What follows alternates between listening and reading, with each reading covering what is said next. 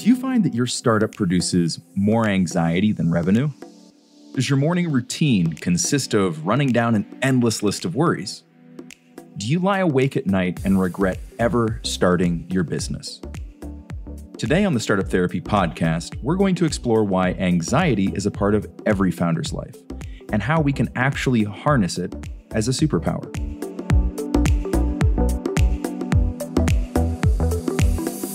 This is Ryan Rutan from startups.com, back for another episode of the Startup Therapy Podcast, here with my co host and partner, Wil Schroter.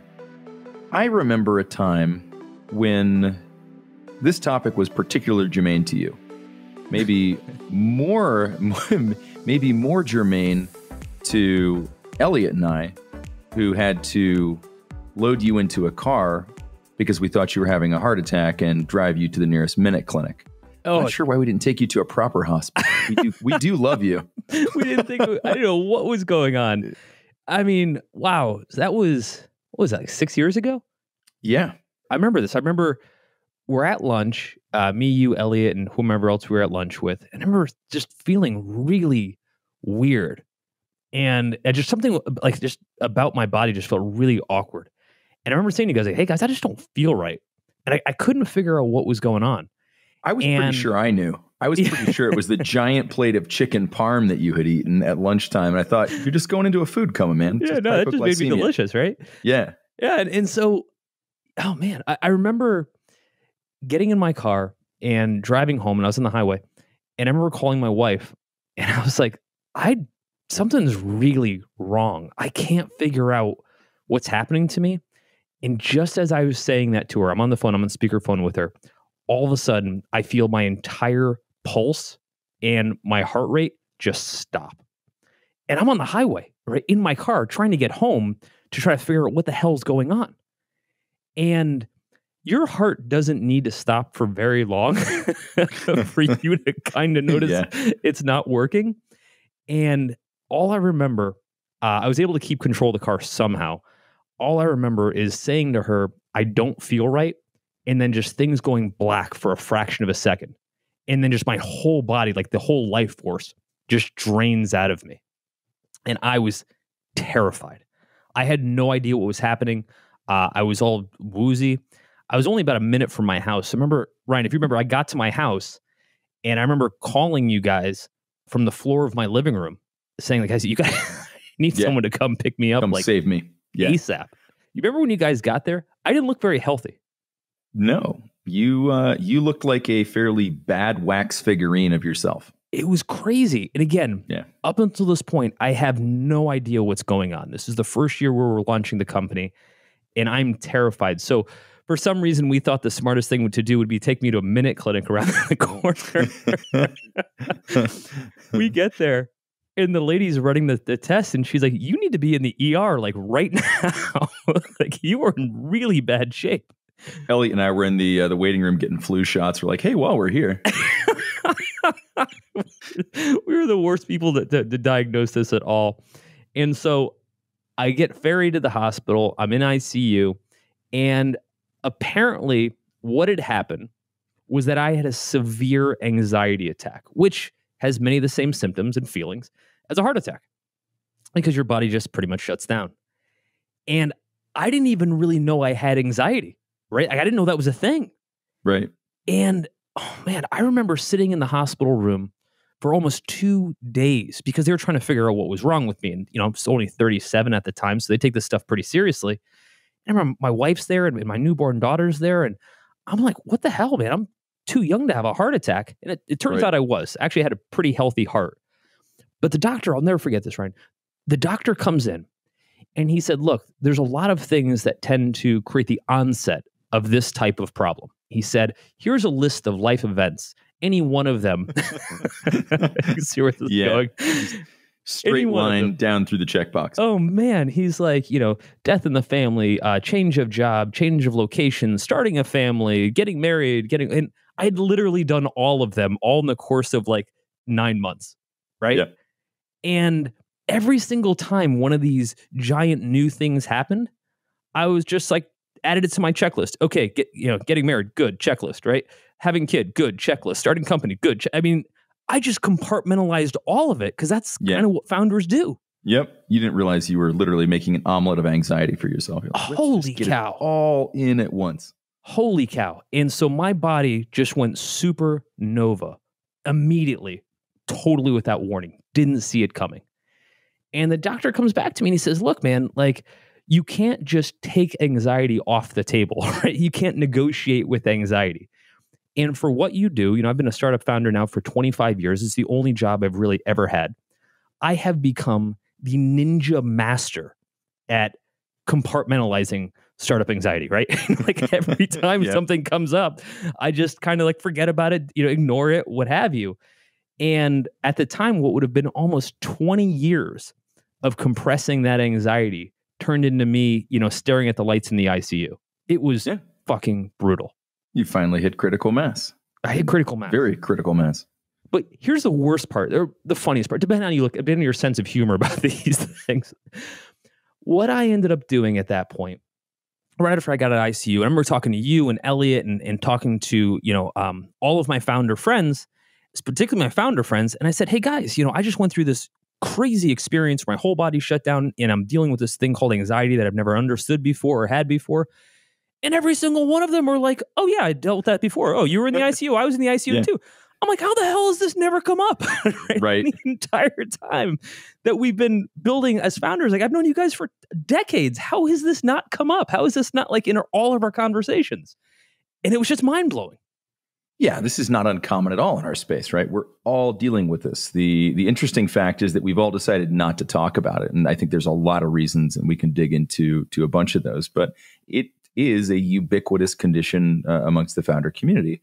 Um, and, and with good reason. We do have plenty that we can worry about.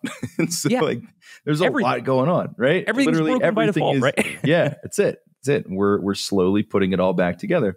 Uh, hopefully right? And and so yeah we've we've all been through these things. You know we talk about a lot of these common experiences you know staring at the ceiling at four o'clock in the morning not just questioning your business but your entire existence right? Like, Absolutely. i am so good at beating myself up at like three o'clock in the morning just laying there staring at the sky uh, and and just thinking about every mistake I've possibly ever made that has led me to this moment, right? And Right. For some reason, like, and, and you know, once you once you put a name to it, I think that was something interesting. You know, you said I had never dealt with it before.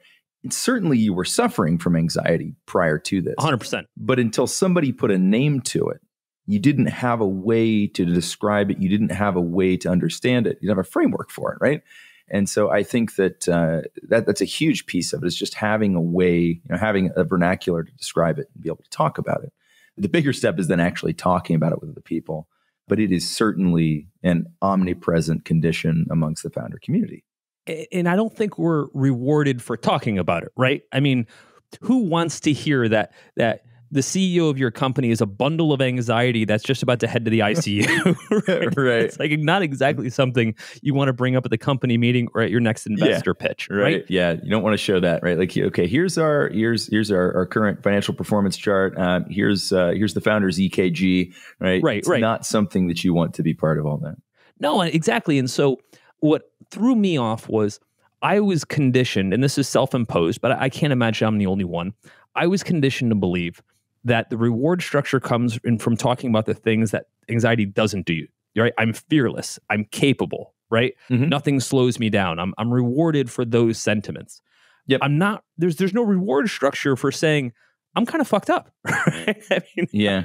Well, actually, You that- there is right there. Yeah. There is a there is a reward structure there. Actually, it's probably far more important. The other one is really about ego, um, Right. and and the second is is really about you know self care and and health.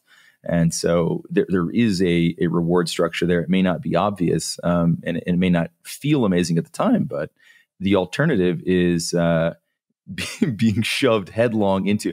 Do you remember when we loaded you into the car? I don't. That's the problem. it was that alone like i wish we had a video of that that would that would be the case point and sale for you know making sure that you don't take it to that level because we literally had to just kind of like chuck you across the back seat of the car but but you know it opened my eyes and it opened the dialogue which i think is healthy Yeah. it was the the impetus for for why, why i wrote that that article about how i Yep. deal with my insane startup anxiety number one was realizing that i even had it Yeah. number two was talking to my friends, and you know, most of my friends are founders, and finding out every single one of them Yeah. had the same issue, Yep. right?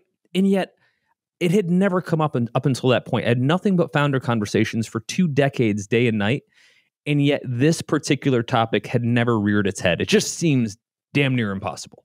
Right. But I thought it's why it's important for us to talk about, you know, so we can kind of. Yeah. not only talk about the fact that it's present. I think everyone listening is just going to shake their heads and go, "Yeah, of course." Right? Yes. Yes. Um, yes. But what to do about it, right? Right. Because You know- that's the big part. one of one of the most important things that came out of that particular episode for me was that I began to start to watch for it, right, in other people. Oh, good and Say point. like, hey, right now that you know, it's not just about talking about my own anxiety, which is also important, but now you can start to see the signs, right, and and you can you can start to try to be helpful. You know, you can ask the questions, and I think that's something else that you know you may find, and if you've got other founder friends, ask them about these things, right? It's fine to say, hey, be brave and talk about them but you should also be brave enough to ask your friends. Like if you see signs that somebody's really struggling or seems really worried, and guess what? If they're if they're if their title somewhere the CEO or founder, uh, Yeah. probably feel pretty safe in asking Given, the question. yeah. yeah, they're going to have it. And, and I think that's an important piece of it too, is that that we, you know, that because we can become aware of it. And, and you know, I was aware that I had anxiety. I was pretty sure that I knew other people that were, you know, suffering from this to some degree. But until that particular episode of, of you know, shoving you into the car, I didn't realize how acute the impact could be and, and how serious the consequences could be. And so for me, and hopefully now just by proxy for everybody listening, there'll be some understanding about how important it is to get this out on the table and to watch for those signs and, and to be ready to help. Yeah, I mean, look, there's there's no version of what we do that has certainty, right? So Yep. the very definition of what we do is running into the abyss, creating things that never existed, is based in anxiety. Right? Yeah. I mean, anxiety is the fundamental of it, right? yep. If, if you're not anxious about what you're doing, you're lying about it. Right? It's just kind Exactly. of that simple. And and you should be anxious about it, right? Now, now should be anxious and there's no way to deal with it or you have to be overwhelmed by it, and it's the same thing. Exactly. And so a lot of what we've talked about over the years is basically how we unpack anxiety, how we certainly talk about it, but how we just deal with it, right? Yeah. And make it, you know, more of a, a superpower than a this this crippling part of our lives. And and Exactly. a lot of what I think we should talk t- about today is kind of what some of those techniques are. Because I, I think for both of us, it's it's changed our lives dramatically, and I think for a lot of folks that are listening, uh, it could have a lot of impact. All right, so let's let's dive in and, and let's start to talk about a little bit how we how we unpack this and how we handle it. In an article that you wrote a couple of years ago, we broke it out into kind of four four different areas, four different steps. Uh, so let's just let's just dive in. And and you started by saying like let's detail the consequences. Let's really talk about what actually happens should any or all of these you know horrendous fears uh, that are driving the anxiety come to fruition. Right. And I, I think what, what happens is, and certainly what happened to me is, we think about what the worst possible case is and just make that the definitive answer. Right. Yeah. Or even worse, we create this amorphous problem. Right. Something bad will happen if this startup doesn't work or if this product doesn't launch or if we don't raise Yeah. money, but we never give it detail. And when it lacks detail, it, it lacks resolution. Right. Yeah. So I can't fix a problem that has no detail. And by way of that, I'm stuck in kind of this this startup anxiety mode forever. Right. For sure. You got to quantify it and you got to qualify it. Exactly, exactly. And so I remember having done this uh, inadvertently when I was in my my early twenties. You know, starting my first company, and I had raised uh, about hundred thousand dollars worth of debt. When I say raised, I don't mean I went to professional investors. I mean I took out credit cards in, in Yep. college, and, and, and I kept uh, racking up debt. I raised Now- around. Who's who's in your cap table? Uh, Visa, Mastercard, Amex denied me, but uh, they they did look at the deal. They Am- Literally. yeah. literally anybody who would uh who would give me money. But but I remember sitting in bed and, I'm about hundred thousand dollars in personal debt. And, and I was again 21 maybe. And there's no possible way I was ever going to pay this money back. Right. So I remember that moment of, of laying in bed, staring at the ceiling. I can picture it in my head right now, thinking to myself, how the F am I going to ever pay this back? right. I mean, like, like, like Yep. what happened? But then I said, wait a minute. Let me look at it from the, the other uh, standpoint. What will actually happen when I don't pay this back? Yep. Right. As I started to unpack that, I realized that yes, I'm going to have to file for bankruptcy. Terrible. I'm 21. That limits a whole bunch of opportunities, being the fact that I'm only 21 years old. Number two, I can go get a job anywhere right now and make this is given the time period like 10 bucks an hour and that's going to be more money than I need to pay my bills. Ergo, yep. I'm going to not uh, I'm going to be safe. I'm not going to stop eating. I'm not going to have uh, I'm not going to lose the the shelter over my head. At its fundamental level, I think all of us in unpacking and detailing our, our anxiety need to understand the consequences come down to am I safe? Right? The moment you can say that I will be safe, and safe can have, have a lot of different contexts in my relationship and my finances, etc., then all of a sudden you come from a place of strength. But the moment that you don't define safety and whether or not you can get to it, you just you fall into the trap. Yeah. Right. And, you, and yeah. you, can't battle. You, you, feel like it's an abyss, right? You, there's no end to it. I'll just keep falling forever. And and the reality is most of us have a better safety net than that. We may never have tested it, but you know, particularly in in the United States, you can sort of only fall so far, right? And then there are all exactly. sorts of things that are going to catch you. And and I'd argue that, you know, particularly at the age of 21, your ass wasn't that far from the ground in the first place, right? You weren't going to fall very far. You didn't have much to lose at that point. You, you know, I, I, agree with that in retrospect, but but I thought about this a lot, especially at the time. It didn't feel like that at the time, right? Oh, and, sure. and, and, and, as you know me, I'm a, I'm a pretty cavalier cowboy kind of guy. But even at the time, I remember thinking like my only frame of reference for my entire life is the past three years. So so far it's mm-hmm. going pretty shitty. Right? like yep. So far it's gone pretty apocalyptic pretty quickly. My friends are still yep. you know looking to graduate college, and I'm figuring out how I'm going to be in bankruptcy for the rest of my life. Right? the, the, things weren't headed off on yep. a really positive path. But what I found was what I found was that if I if I were to stop and I were to say, okay, what's really going to happen when I shut this thing down? So I was basically walking through and planning for failure. Right? Yep. I said, number one, I don't have to think about this anymore. Once it's done, it's done. Once this thing's shut down, yeah. I never have to have this conversation with myself ever again, which, by the way, right. kind of looking forward to it, right? You know, I'll get some crappy job, but I'll have money again. You know, instead of just uh, racking up more debt, I'll actually be able to go to the movies or do whatever it is that I wanted to do at the time. You know, imagine that, right? And the, the, the part of it was like little things like I'll have food. I'll have a place to live. It's not like that's not going to happen. It's not like I'm literally going to be, you know, on the side of the street with no idea how to how to pay for right. food, right? Exactly. And so I think once I unpacked that and realized that even if everything goes to shit, I'm still going to be in a place where I'm functional. It's not going to be ideal and I'm going to regret some things, but the most important thing, I won't have this problem in front of me anymore. That will go away. And, and that was Clear a huge relief to me. Yep. All right. So in in you know method number two, don't believe the hype. Uh, this one resonated really strongly with me because it took me a long time to get over the idea that I needed to present a particular face. Right? Sure. I needed to, you know, I needed to be the Instagram version of myself where everything was filtered and everything was, you know, nice, the right contrast, but well right. lit, you know. And, and the reality is that's that's not true. And and I think that in our modern era, it's far easier to fall into that trap because of the amount of filtered bullshit that we're fed every day, right? We're getting the best versions of everybody's lives via Facebook, Instagram, the news, whatever. And, you know, it's, it's like we've talked about this before, but the overnight success, right? The overnight success right. of a startup. Uh, yeah, the overnight success was uh, 15 years of anxiety leading up to that moment where then they became an overnight success. So you know, I think that we're we're presented with so much of this, and unless you've been on the other side of it, and you really do know, or or you happen to have background in the stories, if you just take them at face value, you'd have a really shitty bar to compare yourself to, right? By contrast, it would seem like, you know, I have all these flaws. I'm worrying about all this stuff. I'm not perfect. You know, the business isn't going as fast as it could. I'm definitely not an overnight success. And you start to, you know, you start to introduce all of these fallacies as facts inside your own anxiety storm. And right. I think it just drives us further and further in the wrong direction. You know, it, it's so sad to me too, because in an age of information sharing, were we honest in what we shared, it would abate 50% or more of the problem around anxiety. I mean, a big part of it is just thinking, I'm the only one that's going through this. I'm a failure, right? Or right. I'm the only one that's going through this. You know, wh- why has everybody else figured this out? Am I just too dumb to do this? What's the problem? And so it, it really it's it's ironic that in a you know in an environment where we have the ability to open up and be honest, that what we choose to do instead is to publicize some, you know, strangely filtered version of ourselves and that we're consuming a strangely filtered version of almost everything that we consume. You know, along those lines, going through your Facebook feed is almost an exercise in anxiety, right? and I almost don't care who you are. And here's here, here's Yeah. the funniest thing, right?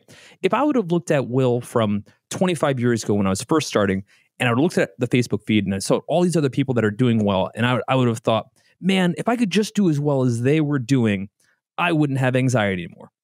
Dude, like I'm 44 years old, right? I've built multi-million dollar companies, had more success than I ever thought I would. And I still have an exercise in anxiety every time I go through the Facebook feed. And here's the fucked up part. Like I'm looking at people who like aren't even doing as well or doing as, as amazing things. And it still gives Right. me anxiety. Yeah. Which is to say, there was no way off that treadmill. No matter how well I did, I was still gonna feel the same way Yeah. it was the exercise of comparison that blew me up, not what the actual comparison was. Yeah. Right? No, just just the act of going through and doing the comparison is anxiety driving. Yeah, and, and, and it's brutal. And so when that happened, I moved on to method number three, which was focusing on action. Right? Yeah. Every time that my anxiety started to bubble, and it was a lot. Right. And I say was because Ryan, it's not anymore. And I'll talk a little bit later about why it's not anymore. And some of that are these methods, and there's some other things that I've been able to tackle. But when it used to bubble up, and that would be about every three to four hours, right? Right, go into this this high intensity kind of uh, mode where I where I was feeling anxious and I needed to uh, burn off some steam, so to speak. I'm googling Old action. Faithful right now. I think you guys may be on exactly the same schedule for boiling over. yeah, except I'm blowing them more often. It's crazy. What I learned to do, though, this was so helpful. I kept a list of all the things that I needed to get done that were very action oriented things. And a lot of times, it, things I would I didn't necessarily have time for right now. Yep. But as soon as I could tell that feeling was coming up, that kind of oh shit, I'm about to have this anxious moment. The first thing is I did is I went to my task list and I just started ripping off tasks. Right. Yep. I just put my focus on anything that I could get done quickly. Right. And it turns out, kind of a little known fact, all of that bound up energy can actually be used for good. Right. Yeah. And I found during those moments of anxiety, I would start doing some of my most productive work. Right. sure. Uh, I would write articles. I would do product development. I would do so many things that actually took all of that energy and put it into something useful versus something shitty, which was me hopping on the internet and finding 20 more things that would stress me out. Right. right. And yeah, because it becomes an endless cool to do a cycle. move.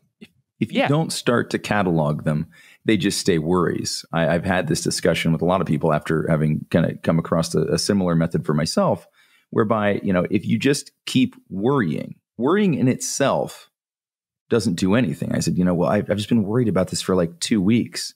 Right. And my question was always like, well, what the fuck have you been doing for two weeks? Like you could have solved this in in like a day if you just applied the same level of activity to, to to actually solving the problem. And so I think that a big part of it's cataloging it and and you know then setting a plan in action. And sometimes you don't even have to go through with it.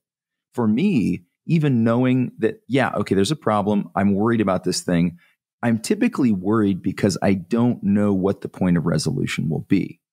Right. And so simply by cataloging it and then determining what at least one or two methods or points for resolution would be, the anxiety goes away. The problem may still be there, but I'm no longer worried about it. And I know what I have to do when I decide that it's enough of a problem to clear it off my plate. Um, Right. But you know, to your to your point around you know driving, using this energy to drive, anxiety is just it, it's another heightened state of awareness, and and there've definitely been times where my anxiety drove like almost manic level thinking. Um, but some good stuff has come out of that as long as you harness it, right? Put some rails around it, channel it into taking action. I think that it, it's it's a critical step, and I think that it's one where once you learn how to do it, it changes everything. Because what used to happen to me was that energy would would just increase and increase. The pace of thinking would increase and increase and increase, but it would just continue to spiral down. And the minute I stopped worrying about one thing, my brain would automatically go into the archives of shit I need to worry about and grab another one and then another Right, one and right. another one until it just spiraled out of control. And so, yeah, being able to just get that action focus has has a huge, huge impact. And I think that Yeah. you know a big part of it. And this this walks us right into method four, which is take the long view, right? Not all of this stuff has to happen right now. None of these Right. things are, are, are usually as as critical or as urgent as we think. Um, and you know, I, I imagine that that's part of of what has has led to you being able to be a bit more zen about this stuff and say, hey, you know, it's okay. Well, and look, there, there's I've got the benefit now of experience, right? And I've got 25 years of building nine companies, and I've seen more stuff firsthand than I can possibly fathom. Uh, when I was young, I didn't have that. When it was my first company, I didn't have that. I, I didn't understand the difference between this is present, so this is the biggest, most important issue ever, and this is one of about a thousand more issues that are going to come around, right? Yep. As an example, when I was first starting in my career, every single time we ran into the smallest issue could be a personnel issue could be a customer issue could be really anything it was an apocalyptic career ending life ending moment right and if i didn't Right. if i didn't solve that issue today there would be no no next episode of my comic right like that That's was a, Point the cannons down. We're blowing the bottom out of the boat. It's all exactly right Yeah. now later on in my career what i started to learn was it's nothing but those moments right and one honestly ain't that more important than the next right i, I never forget there's this um there's this great uh, scene at the, the opening of saving private ryan where all of the guys are you know um, running storming the beach and most of them you know they- they've never fired a rifle so to speak and they're terrified right? And then you just see like this grizzly kind of old sergeant who's just seen it all before just kind of like merrily walking up the beach because he's just like he's been to this show so many times he's like i'm gonna either get shot or i'm not. There's, there's not much i'm gonna do about it I, I like this analogy, but isn't he the one that then gets blown to smithereens about eight seconds later? you, know you're really trying to dig into a lot of uh, details here that aren't important to the story um, but listen, the the second, third, fifth, ninth time around, all of a sudden I started to realize that every one of these problems are big in the near term and meaningless in the long term. Yeah. Right, meaningless. Not to say that that that there's no um, value to the problems. I- I, don't ever ever want to kind of like um, take value out of things. I'm talking about they they aren't worth firing all of your anxiety bullets over. Right, correct. you know, you, you have a, an employee situation that's really difficult to deal with. Cool. Guess what? You're going to have 900 more of those, right? So if every single time that that the situation comes up, you go full atomic and, and use all your anxiety juice on that, Yep. it's it's only going to get worse every single time. And then that makes your ability to deal with the next issue and the next issue that much more diminished, which increases your anxiety that much more. Yeah, it's it's a it's a horrible catch twenty two. When I talk to my wife about it, I come home and I you know unpack my day with her and, and we talk about all the things that happen. And she's often mortified, right? she's like, "How the hell could you let that happen?" Right? And I always say the same thing. I said it's this simple. I have a hundred more of those problems to deal with. They just haven't shown up yet today. Yep. Right? like I just can't get that excited about this one problem because I've got a hundred more to go. Right? I don't know what they are yet. I just know that they're all going to be coming. Right? And so this came this came with experience. So I don't think I could have done this when I was younger, even if somebody had explained it to me. But once I kind of zoomed out and I tried to take a greater long view that my career isn't just what's going to happen by tomorrow. My career is what's going to happen over the next 10, 20, 30 years. Yep. And today is one tiny pebble in that journey. All of a sudden, man, I got real zen. Right? I started to look at it and said, I care about problems, but I don't I don't create this ball of anxiety about every single one like it's a life or death moment because it just Yeah. never is. It isn't. And and the reality is that once you can start to take that long view, you have the ability to to deal with the problems better, right? Like at the end of the day, being worried, being stressed out, and then you know being anxious doesn't help you to solve any of the problems, right? Right. And it it compounds. So you know, at the point where you have faced enough of these things, uh, that you know that like they're not all life and death. Yeah, they're all important, and you know, being able to to take that proper long view should help, right? And Right. Mileage will vary, right? But it should help you to to actually solve those problems better uh, by not It- letting them bubble up and, and get out of control. well, sticking with the bubble up, right? Like a lot of people will say, yeah, some of these techniques, though, aren't really allowing you to deal with the anxiety per se. They're allowing you to compact it and pack it away, just like that got you into trouble the first time, and shift your focus, right? So you're really shifting focus. You're not dealing with it head on. And, and I think it's important to state that when we're talking about coming up with techniques to deal with it, it's not the same as coming up with techniques to ignore it. It's looking for techniques to not make it worse, to not exacerbate it, right? Sure. Because I think you can poke the bear quite a bit when it comes to anxiety. yes, you can. Uh, I can. I can tell you what that looks like. Right? It's loading you into the back of a car. You poke Yeah, the bear. exactly, The bear right? bit And it- back. and, and, and, and it kind of blows you up. And so, over the years, a couple of things that I've learned and, and talking to friends, uh, a lot of people dealing with this, and everyone's got different levels of how they deal with it. Once I once I uncovered the fact that uh, that I had anxiety, it turned out I had no surprise ADHD and a whole bunch of other uh, issues tied to that. But you know, I, I went and looked for lots of different types of help, right? And I, I talked to a lot of people about how they were combating it. Uh, a lot of people uh, medicate for it, you know, take prescription meds for it. Um, and so, and, and that's one way to do it. I ended up finding a solution that was a um, a supplement that it was actually a recommendation from a guy named Ray Kurzweil, who's uh, you know was, uh, led MIT's tech group. I can't remember which one it was a while back, but is also on a mission to live forever. And so Ray takes Yes. like 250 pills a day and everything else like that. But he turned me on to one of his uh, cocktails, if you will. It was a product called 5-HTP, which is a, again a supplement that was basically a, a mood enhancer, uh, and now has become super popular among founders. What a shock! And another one, which is DHEA, which is more of a um, a hormone balancer. And here's what was really interesting about it. On a on a fluke, I basically took him up on this. Uh, this is maybe three three and a half years ago, and I ended up taking the two products, like one a day. And for the first few weeks, nothing changed. I didn't think much of it, right? And then Ryan, I remember you and, and Elliot and the rest of the team definitely saw this because you had to deal with my my emotions every day. Just all of a sudden, one day, the typical issue that would normally come up, that would normally freak me out, that would normally having me email or Slack or text everybody, just didn't bother me. It's not that it didn't register. It wasn't that I No. didn't care.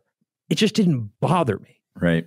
And that's Huge such an important point, right? It's these things will still occur. You can't control whether the problems bubble up. I think a lot of founders fall into that trap too, where they're like, I just have to be better at preventing this. If I was doing a better job, these things wouldn't have happened. Bullshit. They will. It's about how you react to them, right? And that's the only thing that you really get to choose is Right. how do I feel about these things? And I think that to some degree we feel like our feelings are what they are and and we're just going to feel like something's going to happen. I'm going to react. That's my personality. That's what it is. But that's not true, right? And you found that you know it's probably some sort of a chemical imbalance, uh, deficiency in a nutrient of some sort. So supplementation worked for you. I started meditating, and if you had told me 20 years ago, as as a young founder, that I would start meditating someday, I'd be like, "Oh, cool. Will I also be wearing Birkenstocks and, and cut off jean shorts and smoking enough weed?" Right? So no, I I never would have thought that. And I remember the first I so I've, I've started to meditate twice. I've tried. I had to do this. I had to go through the process twice. The first time, it actually made my anxiety worse because it turned out when I sit alone by myself with my eyes closed for 20 minutes, I find plenty of time to be anxious. Right. Literally, you're focusing on being I- anxious at that point. I was just sitting there and yeah, I was like, let me. So I almost, yeah, I, I think I almost started hovering above the ground just from the the anxious vibrations. But so the first time it was it was a failed effort, right? I, I sort of started to feel like, okay, this is this seems to be doing something for me, but eventually I just gave up because I just felt like I was more anxious. And I wish I could put my finger on what the difference was the second time around. I used a different method. Uh, so I, I tried two different products. I, I used Headspace, and I really like the Headspace product. I really do. Right. I love the product. But in the end, I didn't get to where I wanted to be with that. And and then I switched over to another one called Waking Up uh, by Sam Harris. And I really enjoyed it. Uh, the rhythm worked a little better for me. I think it may have been life changes, a lot of stuff. But ultimately, I got to the point where I was able to get to just a very calm place. And even better than that, now, as these things that come up that might start to stress me out, I'm able to recreate that at almost any moment in the day. And, you know, That's it's one of those things where if somebody had told me that, I'd be like, okay, yeah, hippy dippy bullshit, whatever. Now that I'm there, I get it, right? I understand it. And for me, I think that's been the the biggest turn was just kind of being able to give myself space and, and a little bit of freedom to not feel stressed out and to not feel anxious. And you know, along those lines, though, Ryan, what also happened during that time for you, for me, for, for the rest of our team is, and I think this might have been the single greatest change in kind of in, in the in the trajectory of our um, recovery was we were open with each other about it. Right? Oof. See, I thought you were going to say me leaving the physical office. Yeah, no, that, that's actually what it was. we were open by the fact that you needed to get the hell out of the office. No, but like, no, we were. It, it got really interesting because it all of a sudden became kind of a circle of trust, right? Yeah. Where someone could raise their hand and say, "Dude, I'm my anxiety's off the charts right now," and everyone else understood what that meant and Yeah. was down to help. Now, Yes. take that out of the equation, where you say, "Hey, I've got." a horrible anxiety, but instead you're terrified of telling your coworkers because you think that's going to come off as weakness or you know you're not focused on your job or anything that's not positive, right? Right. Um, I, as I tend to do, externalized the hell out of it, right? I told everybody that, hey, this is something I'm dealing with, I'm wrestling with. If all of a sudden I'm coming at you out of the blue, like I tend to do, um, or used to, not quite as much anymore, hold me up and say, hey, man, is Yeah. this, you know, this sounds like, like, like a, a problem you were dealing with before. I told you guys about it. I told my wife about it. I told my friends about it. And what do you know? All of us started to be able to raise our hands saying, yeah, you know, it's actually a problem for me right now, too. And I thought that was the most helpful thing in the world. Yeah. Yeah. Getting it out in the open, knowing that you're not the only one going through it. And there's so many, so many things in life that are that are true in the same way. But I think in terms of anxiety, it's so important because anxiety is such a self-fed beast. And anxiety begets anxiety. And so I think that cutting it off in that way is is really important. Uh, and the reality is that oh, sorry. Oh, oh, sorry. I was going to say, I also think that it helped us dramatically as an organization because when the leadership can be very open about some of the things that they're dealing with, it kind of gives everybody else permission and right in agency to be able to say, it's funny you should say that because I'm actually dealing with it too. Like I thought, I didn't think the CEO would deal with it, right? Oh, Yeah. he's dealing with it too. Well, hey, uh, I'm dealing with this. That's a And great point. Over the Great point. years, I've been able to have very frank conversations with our team all across the, the, the organization about depression, about anxiety, about like deep seated personal issues that folks are dealing with, stuff that would have probably never surfaced before. But I think we created an environment where people were willing to open up about these things. And because they were willing to open up, we could talk through them. It became a thousand times more productive, but more importantly, a hell of a lot happier. See, there you go. Method number five have a clinically relevant anxiety event that acts as an icebreaker so that it can permeate your entire company culture. That uh, well, hey, it worked, you know. So yeah, it is definitely It did. it's It did. number But look- five. There it is. We're all going to deal with this for the rest of our lives, right? We it, it, it's not going to stop. And so I think that the um, the important points to take away from today are there are ways of dealing with it. There are ways to get through it, and that you know it's not going to go away. So learn learn to live with it, and and learn to find your own ways of dealing with it, and find a way to harness it as a superpower. I agree. I agree, and I, I think, like to your point, Ryan, we all have it. Uh, it's a scale of one to ten. Sometimes it's at twelve, but it's never at zero, right? And I think we just all need to figure out how to get our volume on it turned down as much as possible. And I think that's the key toward dealing with it and, and really trying to make it a part of our lives that we can not only manage with but flourish with.